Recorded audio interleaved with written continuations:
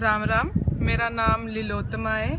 ਮੈਂ ਪੰਜਾਬੀ ਯੂਨੀਵਰਸਿਟੀ ਪਟਿਆਲਾ ਤੋਂ ਐਮਏ ਅੰਗਰੇਜ਼ੀ ਕਰਨ ਦੀ ਪਈ ਹਾਂ। ਮੈਂ ਸ- ਸੁਨਾਮ ਦੀ ਰਾਵਣ ਵਾਲੀ ਹਾਂ, ਜੋ ਕਿ ਸੰਗਰੂਰ ਜ਼ਿਲ੍ਹੇ ਵਿੱਚ ਹੈ। ਮੇਰੇ ਘਰ ਵਿੱਚ ਨੌ ਜਾਣੇ ਰਹਿੰਦੇ ਨੇ। ਉਹਨਾਂ ਵਿੱਚ ਮੇਰੇ ਡਾਡਾ ਡਾਡੀ ਵੀ ਹਨ। ਮੈਂ ਭਵਲਪੁਰੀ ਭਾਸ਼ਾ ਉਹਨਾਂ ਤੋਂ ਹੀ ਦੇਖ ਕੇ ਬੋਲਣੀ ਸਿੱਖੀ ਹੈ ਉਹਨਾਂ ਨੇ ਮੇਰੇ ਕੋ ਕਿਤਾਬ ਤੇ ਤੱਕ ਕੋਈ ਨਹੀਂ ਸਿਖਾਈ ਕਿ ਲਿਖ ਕੇ ਜਾਂ ਪੜ੍ਹ ਕੇ ਸੁਣਾਈ ਹੋਵੇ ਤੇ ਮੈਂ ਸਿੱਖੀ ਹੋਵੇ। ਉਹਨਾਂ ਨੇ ਮੇਰੇ ਕੋ ਬਸ ਉਹ ਆਪਸ ਚ ਗਾਲ ਕਰਦੇ ਨੇ। ਵੱਡੇ ਲੋਕ ਘਰ ਦੇ ਗਾਲ ਕਰੇਂਦੇ ਨੇ, ਉਹਨਾਂ ਕੋ ਦੇਖ ਦੇਖ ਕੇ ਬਚਪਨ ਤੋਂ ਸਿੱਖ ਗਈ ਹੈ ਉਹ ਬਹੁਤ ਸੋਹਣੀ ਭਾਵਲਪੁਰੀ ਬੋਲੇਂਦੇ ਨੇ ਮੇਰੇ, ਮੇਰਾ ਡਾਡਾ ਪਾਕਿਸਤਾਨ ਤੋਂ ਆਇਆ ਹੈ 1947 ਦੇ ਹੱਲਿਆਂ ਵੇਲੇ।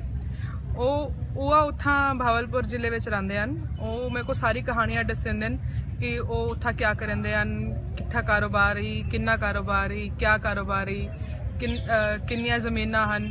ਉਹ ਬਹੁਤ ਯਾਦ ਕਰਦੇ ਨੇ ਆਪਣੇ ਜ਼ਿਲ੍ਹੇ ਕੋ ਉਥਾਂ। ਪਰ ਉਹਨਾਂ ਕੋ ਇੱਥਾ ਆਉਣਾ ਪਿਆ ਹੀ ਬਹੁਤ ਮੁਸੀਬਤਾਂ ਝੇਲ ਕੇ ਉਹ ਇੱਥਾ ਆਏ ਹਨ। ਉਹ ਕਹਿੰਦੇ ਰਹਿੰਦੇ ਨੇ ਕਿ ਉਹ ਉਹਨਾਂ ਦੇ ਪਿੱਛੇ ਕੋਈ ਚਾਕੂ ਲੈ ਕੇ ਵੀ ਭੱਜਿਆ ਹੀ ਬਟ ਉਹ ਬਹੁਤ ਮੁਸ਼ਕਿਲ ਨਾਲ ਬਚ ਕੇ ਆਏ ਹਨ।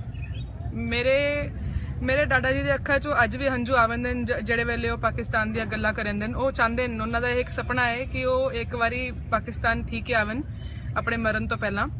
ਮੇਰੇ, ਮੇਰੇ- ਮੇਰੀ ਡਾਡੀ ਜੀਨ ਦੀ ਰਾਵਣ ਵਾਲੀ ਹੈ ਵਲਾਵੀ ਉਹ ਬਹੁਤ ਸੋਹਣੀ ਭਵਲਪੁਰੀ ਬੋਲ ਗਿੰਦਨ ਉਹਨਾਂ ਦੀ ਜੋ ਮੇਰੀ ਡਾਡੀ ਦੀ ਮਾਂ ਆਈ ਮ- ਮੇਰੇ ਪਾਪਾ ਦੀ ਨਾਨੀ ਉਹ ਵੀ ਬਹੁਤ ਸੋਹਣੀ ਭਵਲਪੁਰੀ ਅਹ, ਬੁਲੰਦੇ ਹਨ।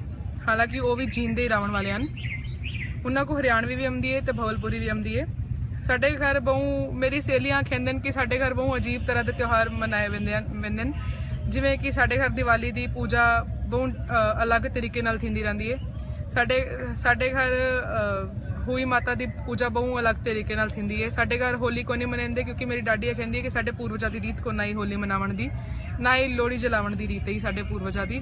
ਤਾਂ ਅਸਾਂ ਨਾ ਹੋਲੀ ਮਨਾਉਂਦੂ ਨਾ ਲੋਹੜੀ ਮਨਾਉਂਦੂ ਅਸਾਂ ਸਿਰਫ ਹੁਣ ਦੇ ਵਿੱਚ ਮੂੰਹ ਮਿੱਠਾ ਕਰ ਗਿੰਦੂ ਬਟ ਉਹ ਜਿਹੜੀ ਭਾ ਬਾਲਦੇ ਨੂੰ ਉਹ ਕੋਨੀ ਬੁਲੰਦੇ ਮੇਰਾ ਮੇਰਾ ਨਾਨਾ ਪਾਕਿਸਤਾਨ ਦਾ ਹੈ ਤੇ ਮੇਰੇ ਨਾ- ਮੇਰਾ ਨਾਨਾ ਵੀ ਬਹੁਤ ਸੋਹਣੀ ਭਵਲਪੁਰੀ ਬੁਲੰਦੇ ਜੋ ਮੇਰੇ ਨਾਨਕੇ ਪਰਿਵਾਰ ਚ ਮੇਰੀ ਮਾਮੀ ਹੈ ਇੱਕ ਮਾਮੀ ਗੰਗਾ ਨਗਰ ਦੀ ਹੈ ਉੱਥਾਂ ਵੀ ਬਹੁਤ ਭਵਲਪੁਰੀ ਰਾਂਦਨ ਤੇ ਉਹ ਵੀ ਬਹੁਤ ਸੋਹਣੀ ਭਵਲਪੁਰੀ ਬੁਲੰਦੀ ਹੈ ਮੇਰਾ, ਮੇਰੀ ਛੋਟੀ ਮਾਮੀ ਹੈ ਜੋ ਉਹ ਰਾਜਪੁਰੇ ਦੀ ਹੈ ਜੋ ਕਿ ਪਟਿਆਲਾ ਦੇ ਬਹੁਤ ਨੇੜੇ ਹੈ। ਉੱਥਾਂ ਉੱਥਾਂ ਤਾਂ ਅਖੇਂਦਨ ਕਿ ਭਵਲਪੁਰੀਆ ਦਾ ਹੀ ਰਾਜ ਹੈ ਤੇ ਉਹ ਬਹੁਤ ਸੋਹਣੀ ਭਵਲਪੁਰੀ ਬੁਲੰਦਨ। ਮੈਂ ਹੀ ਵੇਲੇ ਇੰਨਾ ਹੀ ਆਖਣਾ ਚਾਹਸਾਂ। ਰਾਮ ਰਾਮ।